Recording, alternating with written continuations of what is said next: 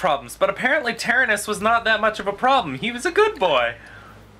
Okay. One good does not. Yeah, but if that space. one good, if that one good raises his own good, and they continue to make good, He Yeah, ain't it's a bit- raising poop. Yeah, that's he a that's a that's a big if loan.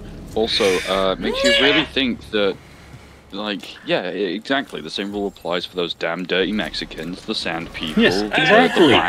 You can't trust any of them. Yeah. So why we need to keep everything nice and nice and clean.